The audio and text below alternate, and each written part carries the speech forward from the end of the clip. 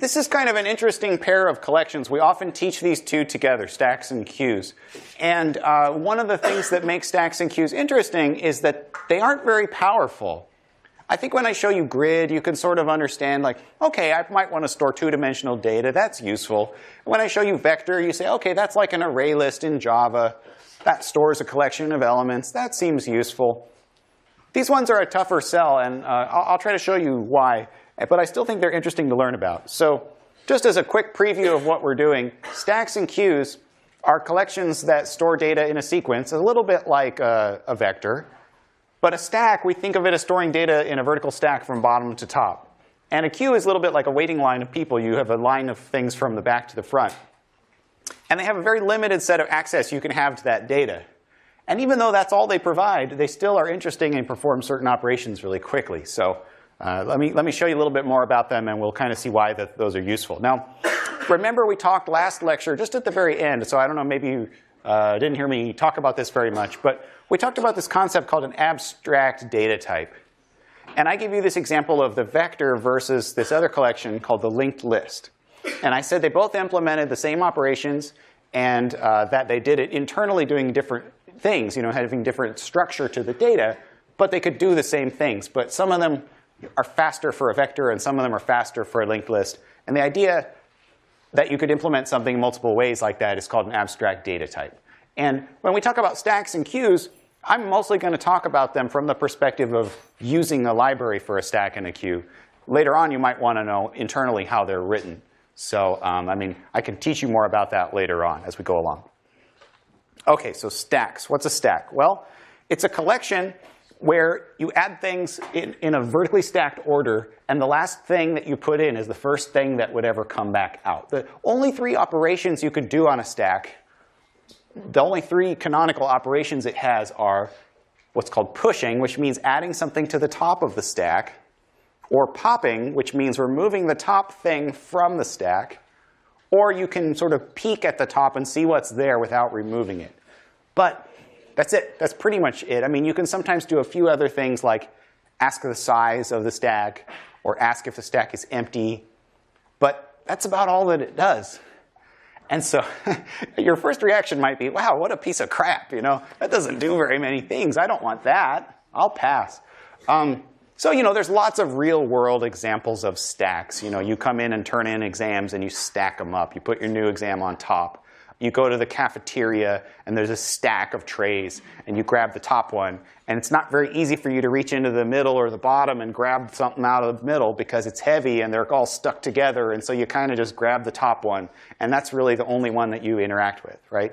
And if the, the you know, uh, dish room cleans some of the trays and has new trays, they bring them in and they just put them on the top of the stack. And so everything is happening on the top. There's lots of real world analogies like that. Okay, well, why would you want something like this? There are a lot of places where data naturally arranges itself in a stack-like way. So it's nice to have a structure that mirrors those examples.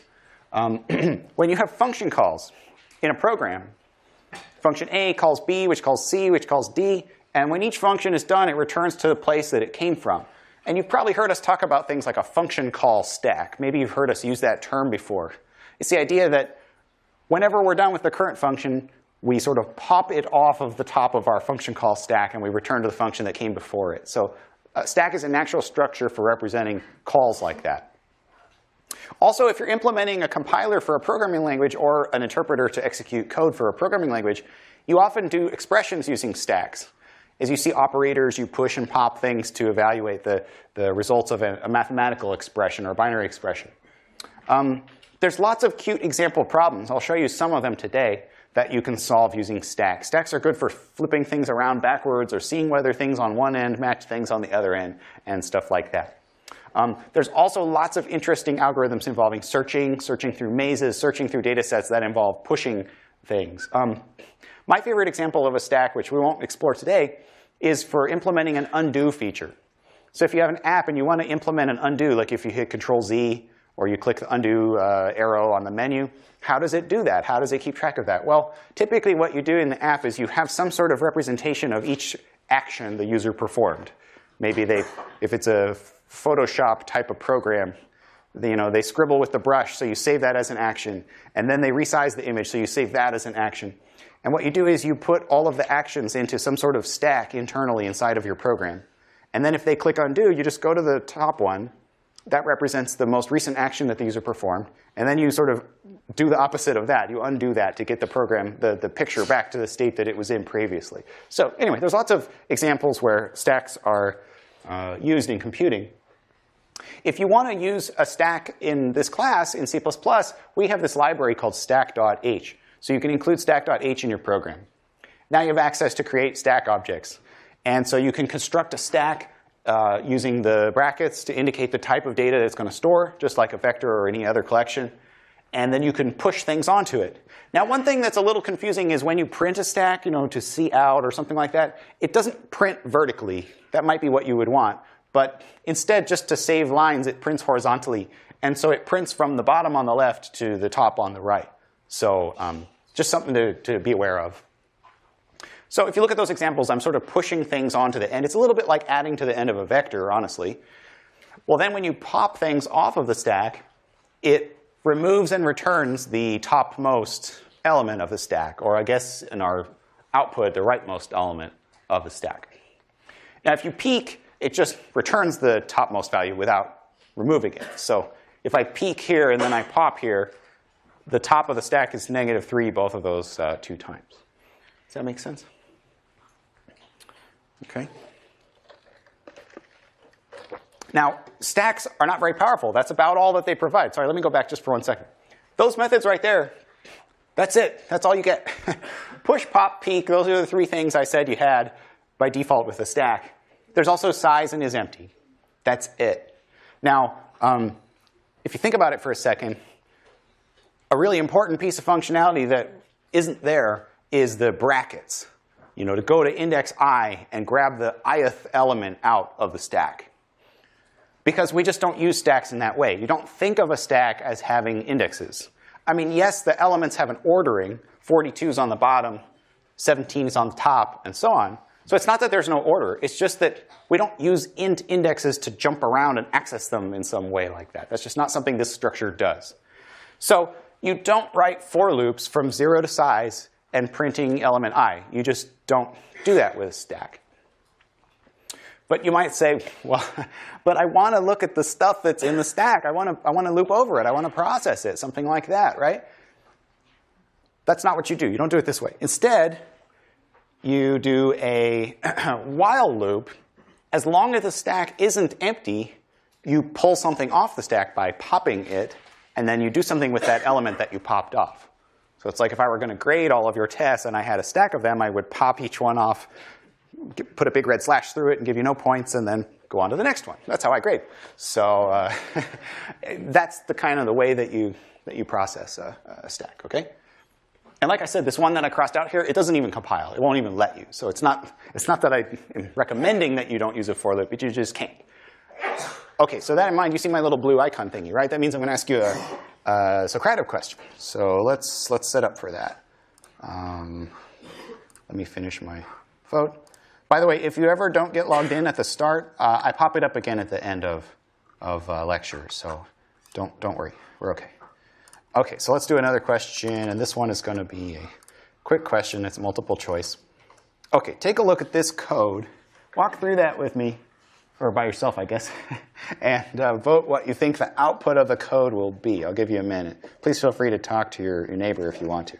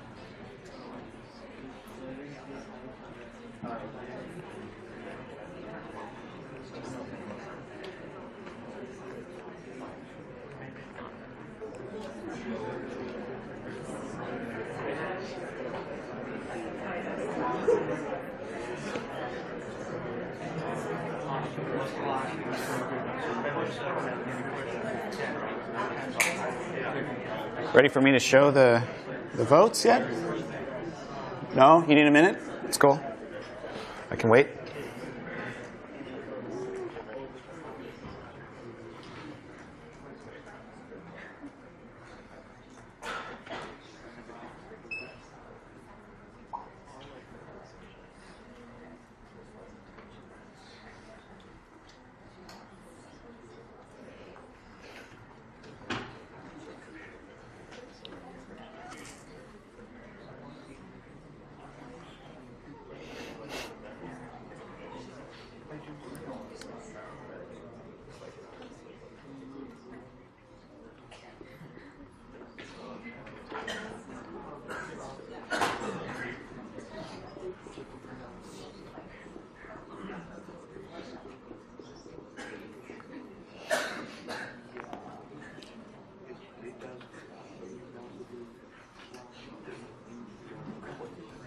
Okay, it looks like most of you have cast your vote now. So if you haven't voted, give me a vote real quick and then we'll pop it up.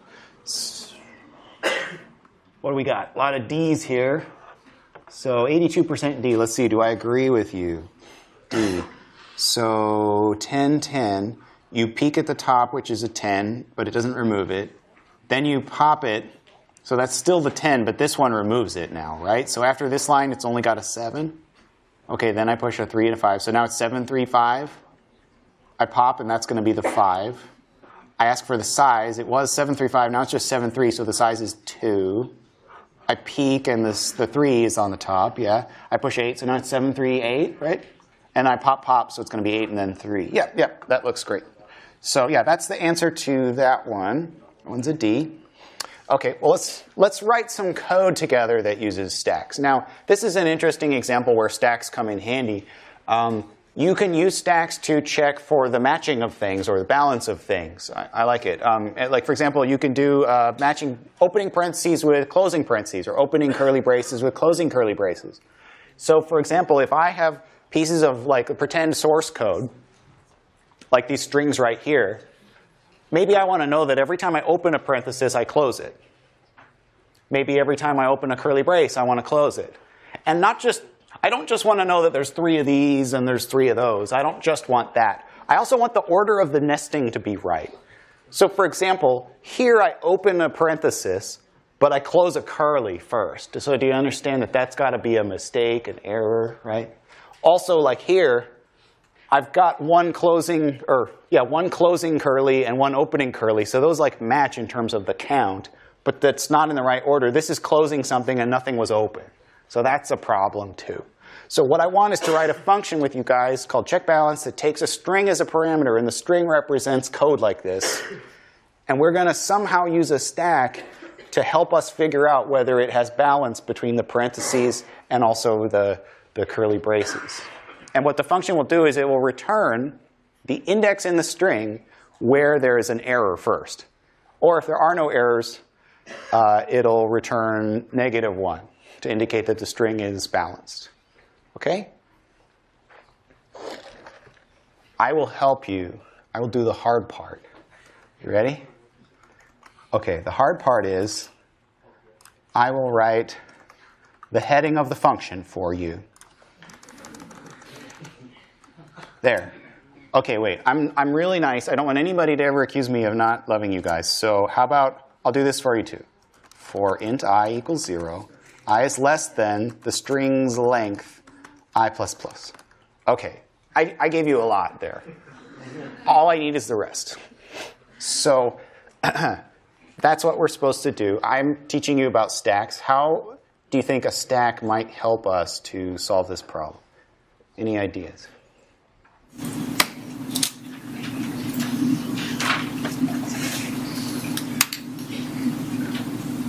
What do you think? You have like a, you have the first apprentice, then you would add one to the stack, and if you have like a closed one, then you will pop one from the stack.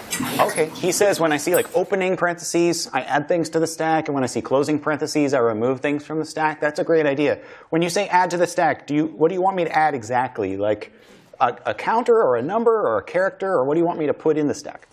I guess it doesn't matter. Just, just keep adding ones. Okay, yeah. So you said it doesn't really matter. I guess the one thing where it might matter is like, I don't want to close a curly when I opened a parenthesis. So I need to know that not just the count kind of of how many, but also maybe what kind they are. So maybe we could just push the characters themselves into a stack. So like as I see parentheses, I will stack them up into a stack of parentheses or something like that. Okay, so you're saying like if, uh, so the character at index i is called code bracket i, right? And maybe just, I'm probably going to refer to that a lot. So why don't I say like char c equals that, okay? So if the character c is a opening parenthesis or it's an opening curly, you want me to push it into a stack. We don't have one yet, so I can go up here and make one. Let's make a stack of characters called uh, S. call it whatever you want. So you say S dot push, and you want me to put C onto the stack? Okay, sure. Uh, now what? So you're saying if I see closing characters, I want to remove things from the stack? So like you're saying else if uh, C is a closing parenthesis or C is closing curly, I want to do S dot pop, something like that. I think that's a good start, but we need a little more, a little more than that. What were you going to say? Yeah. Um, if uh, if S is empty and you try to pop something from it, what happens? If S is empty, the stack is empty, and we try to pop out of it, what will happen? That's what will happen. It will explode. It will uh, crash. The program will throw an exception. So we don't want that, right? Need to check before that other. Uh, so I guess, or in, in the that else if statement, if, if C is a one of the two hybrid closing parentheses and not empty. Okay, right. So there's a couple of things. Like I think when you see an opening parenthesis or opening curly, you just put them into the stack. That, that part I think is pretty good code so far. When we see closing parentheses and curlies, there's a couple things we want to look at. If we see a closing curly, we probably want to look at what's in the stack right now, right? Like, so if you look at uh, the second call here, see this red closing curly that I'm spinning my cursor around right there? What would be on the top of the stack at that moment when we saw that curly? Wouldn't it be this opening parenthesis? So we could probably compare those two to see if they matched up with each other, right? And that would tell us that would be an error at that place in the string if those didn't match, right? So what if I said like, maybe I'll separate these two cases out. If it's a closing parenthesis, and if what's on top of S, I want to look at what's on top of S without um, removing it. So how about if I peek at what's on top of S? If that isn't uh, opening parenthesis, that's an error, right? What are we supposed to do when we find errors? Do you remember? Right, return. We're supposed to say what index an error is at, and that index would be index i, right, where we are at at this place in the code. So that's an error case. Um, okay, well maybe what, maybe I'll reverse this. I'll say if what's on top of the stack is per, an opening parenthesis, that's a good thing, right? If what's on top of the stack is an opening parenthesis, that just means they match. And so what should I do? Probably pop off that uh, opening parenthesis because I saw the match for it, so they, they consume each other and I throw them both out kind of. Otherwise, this means I have an error here, right? And so I think you could have a similar piece of code like this, but it's about curlies. You say, well, if it's a closing curly and what's on top is not an opening curly, that could be an error. We could talk about redundancy in a second. Maybe we think this code is redundant. But OK, now you, though, brought up a good question. You said, what if I see a closing curly and there's just nothing at all on the stack? What will happen? So there's, a, there's an example right here, the third call we open a parenthesis while true, we close it. So after that, there's nothing on the stack. We open a parenthesis, we close it. Now there's nothing on the stack. And then we see a closing curly.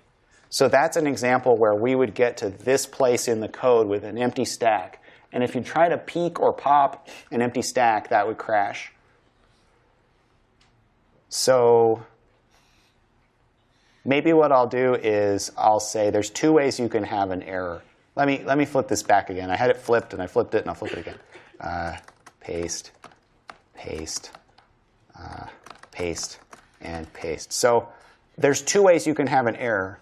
If the stack is empty or what's peeked out of it is wrong. Those are both errors, right? And you know, uh, it does this short-circuited checking where if the first one fails, it's enough to stop so it won't fall off the cliff and do the second one and crash. So that'll be OK. So we could do the same thing down here. And just you know, in terms of these lines being redundant, I think we could make a helping function to scrape that redundancy out. But I want to just focus on the stack parts for now. OK, now if we get all the way down to the end of this for loop, we get all the way through the for loop, and we never returned anything. What does that mean about the string that we're looking at? Means we didn't find any errors. There weren't any problems with it. So it's probably balanced, right? I think the description of our problem said if it's not balanced, or if it, if, there, if it is balanced, if there are no errors, we should just return negative 1.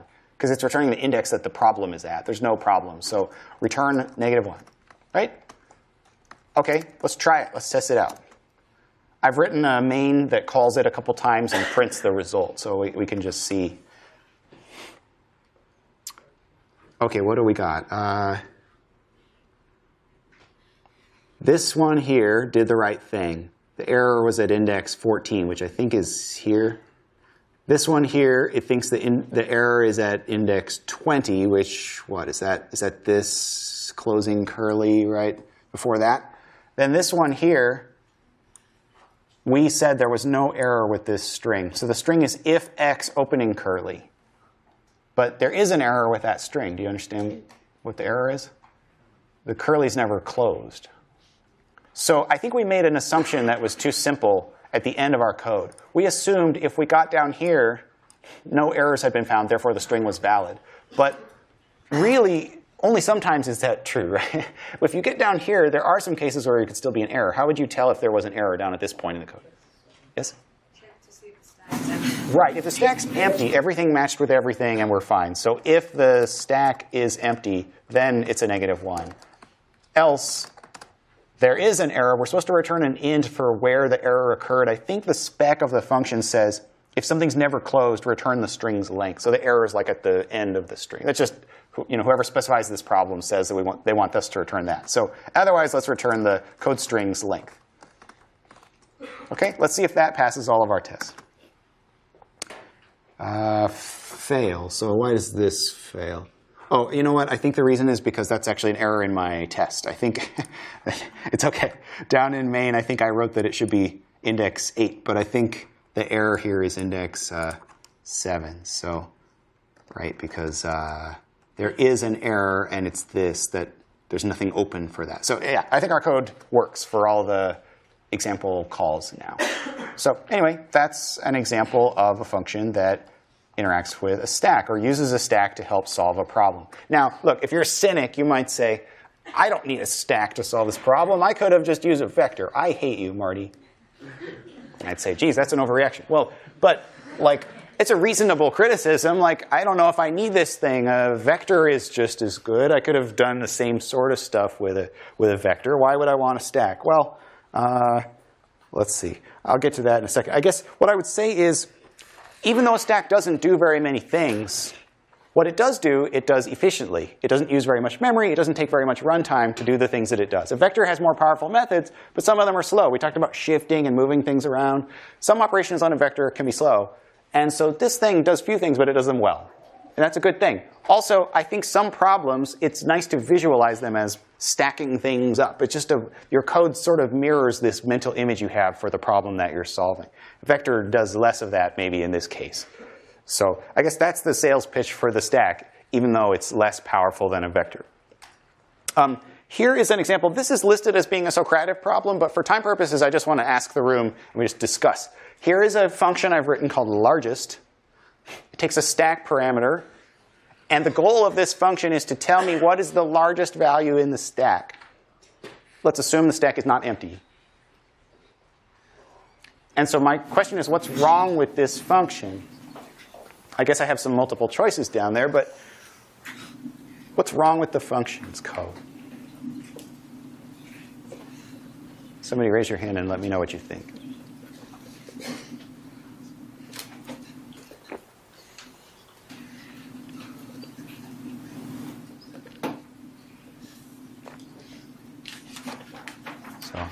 Called you once or twice. Maybe I'll get somebody else for this one. Sorry.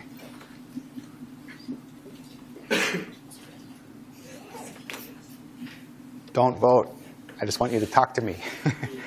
Raise your hand, someone. What do you think? return the right maximum value, but you don't have the stack anymore. If it's empty now. She's exactly right. She said it does return the right value as long as the stack isn't empty to begin with, which we're assuming. But, like you said, it destroys the contents of the stack in order to figure out the answer, right? My analogy would be like, you know, if you asked me like, uh, you know, which student in the room has the biggest brain? And I had to saw your heads open to look and see. And I said, it's her right there, the one on the floor, bleeding to death. Maybe I should pick a different analogy. uh, right, it's like, it's like if I said, hey, I've got a stack of plates here. How many plates are there in the stack? And I picked them up and I said, one, I throw it over my head, it breaks, two, three. There were 74 plates. and now we have a bunch of glass, you know, uh, porcelain shards uh, on the floor. And it's like, well, great, I had 74 plates, but now they're all ruined. Um, this code tells you the biggest value in the stack, and then the stack is gone when it's done, right? So that's too bad. This raises interesting questions about like when you call a function and you pass in a collection to the function, are you allowing that function to make changes to your collection? Do you want to allow the function to make changes to your collection? You'll notice that the thing is passed by reference, right? It has an ampersand. That means it's being shared between main and this function. So if I change it here, main will see those changes. One way of making this code not destroy the stack would be to just delete that ampersand, which would cause the stack to be copied, and then the copy would be destroyed, which would not change the original one, right? Are there any other ways you could avoid the destruction of the stack, but still answer the question? Yeah Create a temporary empty stack and pass each, or push each thing as you pop it into the temp and then push it back into the, iterate through that and push it back into the uh, full swing. Right, so you could also create a backup stack, a temporary stack, and you could put the data in there temporarily until you're done and then put the data back. Or you could just copy the original data into the second one and use the second one for all your uh, destructive operations. So sometimes that's something you want to watch out for you want your function not to damage the data being passed to it. So this is something to be aware of. OK. Any other questions about stacks before I talk about queues? Yes, sir? These solutions is better. Which is better, to remove the ampersand or to um, do a backup?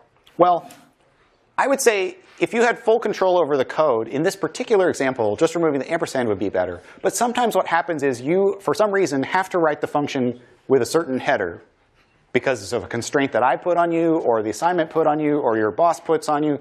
So you have to take it by reference for some reason.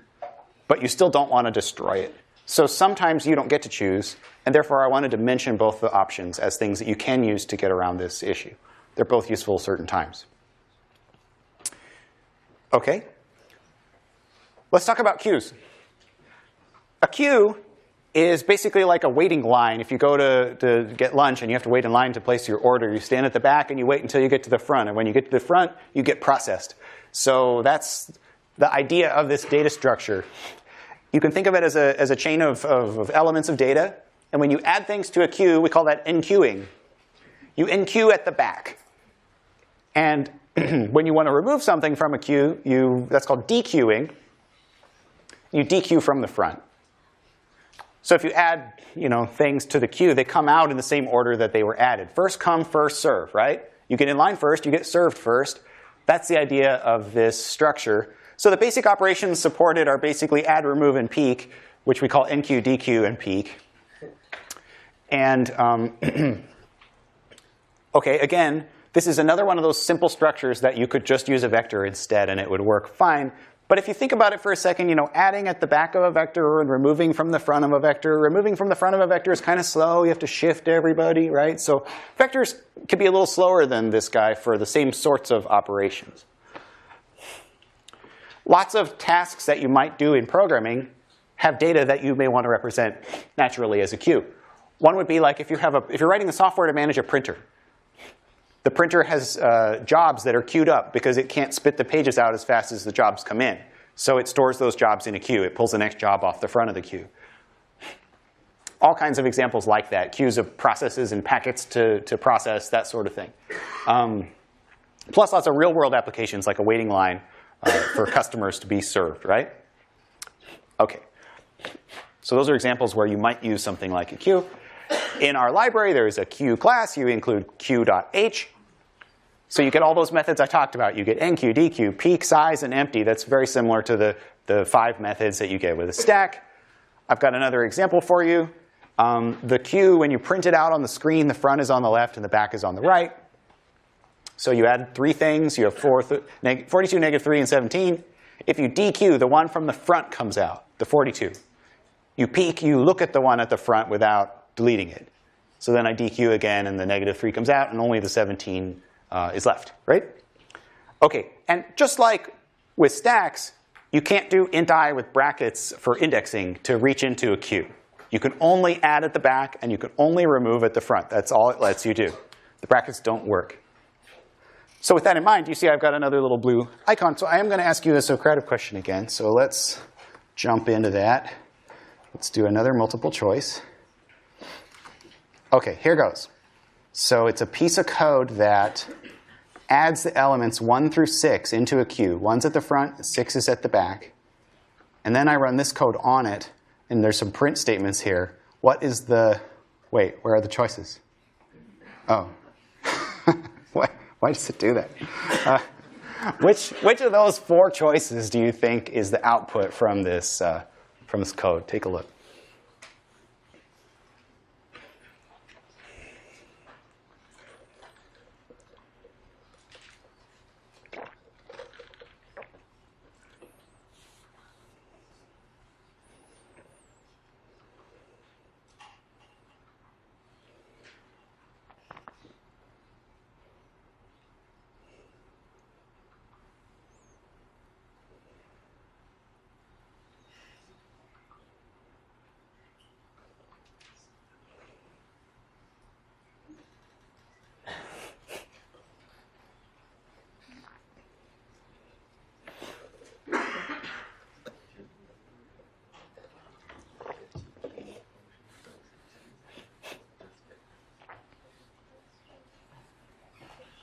One more time, or are you guys okay? Let's see what you guys are voting for. Cast a vote now if you haven't voted yet. What do you think the answer is? Oh, it's all over the place. I love it. And the votes are still pouring in. You got no idea, do you? Lol. What does that even mean? There's no E. There's no E.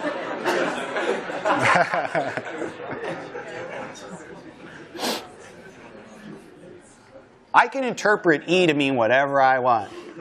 So you know what? Let's see. E, Marty, is super awesome and cool. All right. Well, if that's what you want to vote for, then. Wait, only 2% of you think that. Oh. Uh, okay, there's a big split here. A and B both got a lot of votes, and both of the other choices also received non-trivial representation. So I guess if you look at A, if you chose A, what I think you're assuming is that this loop removes and prints every element, and then at the end, here in the last line, there's nothing left, right? And if you chose B, you're sort of thinking this thing took out half of the contents and not the other half. So I mean, which one is it? Somebody who really feels like they, they know why their answer is right? Do you want to try to justify your answer? Um, which one did you pick and why? I picked B. Pick B. Why? Um, so I said that at the end of each loop, queue size updates. So first i is 0 and queue size is 6. And so it prints out 1, and then i is 2 and queue size is 5. So 2 and then 3 and 4, so it prints out 3 and 4. Yeah. Okay, I want to walk through this because it's important. So um, here's that same slide. Let's see, I, I can't draw on it unless, okay, there. You guys read that okay? So there's the slide. So she said it just right. int i starts at 0, and the queue size is 6, right? right? So what I do is I do a dequeue operation. So that removes the first element, and it prints it. So it prints the 1, fine. Now we loop, we wrap around our, our loop and we repeat. So now after that, int i increases up to 1, right? But remember, hey, the moment we did that dequeue operation, that shrunk the queue by 1. That changed the size of the queue. So q.size is now 5. And I hope you understand that when you have a for loop, every time it goes back up, it checks the test condition again, including if it has to call for the size, it asks for the size again. So now it says, oh, well, 0 was less than 6. Is 1 less than 5? Yes. So the loop goes again. It prints dequeue, so it prints the 2. And then it does another i++, plus so i becomes 2. And the dequeue operation reduced the queue size to 4. Is 2 less than 4? Yes. So it runs the loop again. q.dequeue gets printed. So that prints the 3. And then that does i++, plus which makes a 3 here. Then we do the queue size got decreased by the, the, the dequeue operation here. So this one becomes 3. So both of these things are at 3 right now. Is i less than queue size? Not anymore. They're the same. So that's a, a, a trick, right? That i is going up and the queue size is going down, and eventually they cross in the middle. So the net result of this piece of code is that it prints half the elements, and then it stops the loop. And then that means 1, 2, 3 get printed. And after that, in curly braces, the 4, 5, 6 are still left in the queue at the, at the end with size 3. So, I mean, I was kind of trying to trick you there, but I wanted to walk through that and see when you loop over a structure and the size is changing, that can mess with the number of times the loop repeats for. Okay? So if you wanted to change it so that the answer was A, how could you change the code on the slide to achieve that? Q size plus. Just say i less than q size plus 3 or something like that? Yeah, that sounds, I mean, that would work, but I think it's a little bit hacky, right? Like, are there, did you have another answer? I think you could write an integer size equals q dot size before the for loop, and then loop until i i is less than size. Right, what she said is um, you've got this right here, and you're saying the problem is that the size keeps changing. I do want it to loop six times, which is the original size of the queue. You're saying, why don't I just save this as int size equals that, and then just do i less than size, which will always be that variable of 6, and that won't go down as q.size goes down. That's a great way to fix it. Yeah. Are there any other ways you could fix this same piece of code? What were you going to say? If you start in i size minus, no, yeah, q size minus 1 and then loop while i is greater than or equal to Oh, sure. Count down. Okay, sure. So you're saying int int i equals q dot size minus one, and then i is what greater than or equal to zero. Yeah. Yeah, we saw that trick last time, right? To go count down, go backwards. That I think that works too, because we only grab the size once, and we don't care what it is anytime after that, right? Okay, great. Are there any other ways you could fix this? What do you think? Uh, do a while loop and then do it not. I also like that a lot. How about while, while, wily coyote, uh, while the queue isn't empty? That works really well too. All of those are good solutions to this particular problem. And actually, this third one may be the most what I would call idiomatic of all three. That's most typical of how queues are expected to be used. But all three of the answers you gave are, are perfectly valid ways of solving it. I think the, the first guy was saying something like maybe go up to like, you know, q.size plus 3 or q.size times 2, like if that would actually solve the problem as well. So there's lots of ways you could get this to produce the right behavior that we were hoping for if you wanted the answer to be A. Okay? I'm just pointing this out. I'm going to remind you in about a week, because a lot of you are going to basically do this on your homework. you're going to write some code like this without realizing it, and the output's going to be B, and you're going to be surprised that it isn't A, and I'm going to be like, remember that slide I was reminding you about? And you won't remember. So, okay, I'm just talking. But I'll have a good laugh with my fiance about it. By the way, I, I texted her while you guys were looking at this, and I'm like, they're doing a Socrative right now. Love you, kiss, you know. And then she goes, vote B. And it's like actually the right answer. I was like, oh, she knew. She's good. She's a smart one. Um, I think she might have guessed though. Anyway, so yeah, um, these are two patterns I want you to be aware of because they're useful. in many situations. So instead of for loop, maybe you want a while not empty loop. Maybe that's the pattern you want. Or the other suggestion is maybe saving the size as a variable so that changing the size won't mess up your loop. That might be something that you, that you want to do. So keep those both in mind as problem solving strategies when you're working with queues. Stacks as well. Sometimes with stacks you want the same idea. Okay? you can mix stacks and queues. Sometimes you have a queue and you put three things into it. Then you make a stack and you dump the contents of the queue into the stack. So you have one, two, three in the queue. You pull off the one, you pull off the two, you pull off the three. You put each one into a stack. So now you have one, two, three. So three is on the top of the stack, right? And now while the stack is not empty, you pop the things off and enqueue them. So you enqueue the three, then you enqueue the two, then you enqueue the one. And the end result, when you print the queue at the end, you've reversed the queue. Do you see that? Queues don't have a reverse method, but dumping things into a stack and then pulling them back out gets them back out in the opposite order that you, what you put them in. That's kind of a cute trick. Stacks are good for reversing things. So let's do a couple quickie problems together as a team. Let's write some code. I want to write a function called stutter where you pass in a queue and you'll get two copies of every element of the queue. So if you start with 1, 2, 3, you get 1, 1, 2, 2, 3, 3. Okay?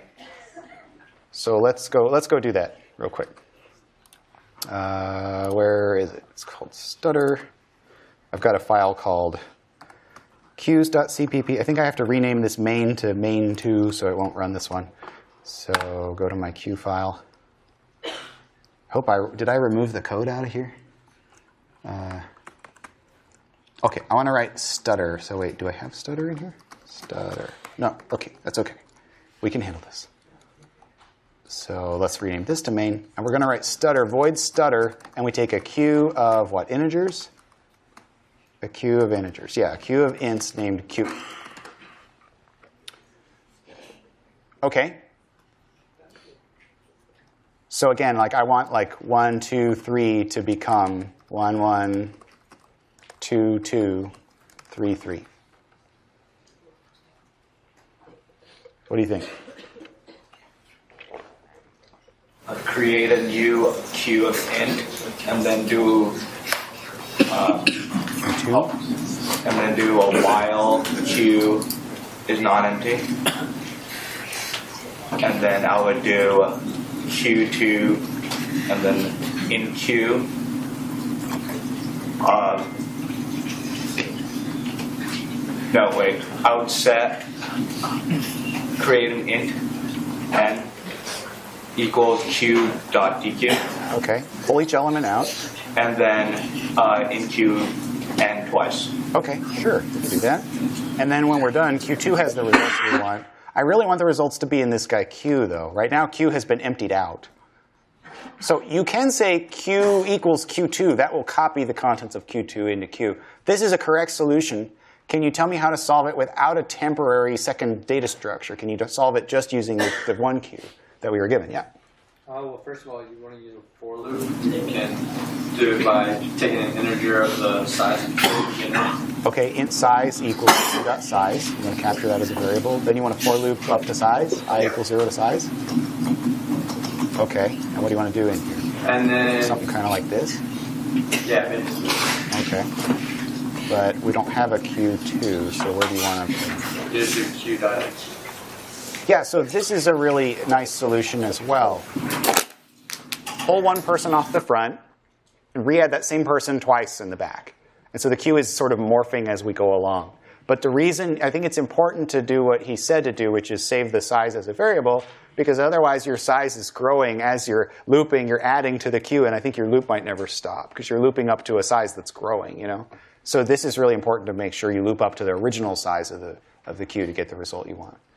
Does that make sense? Those are both correct solutions. I prefer, in general, the ones that have fewer auxiliary data structures, but this one totally works too. Sometimes you have to watch out. Sometimes the problem statement will say you're not allowed to use any other structures. So in that case, this solution might be banned or something for that example.